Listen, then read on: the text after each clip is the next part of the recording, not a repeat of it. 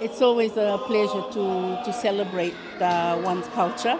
Uh, in this case, it's the Fiji Language Week, celebrating that through dance and music, uh, especially with our little ones, and seeing them um, performing um, our old um, languages through the, the chant. It's, and seeing their costume, they look so fantastic.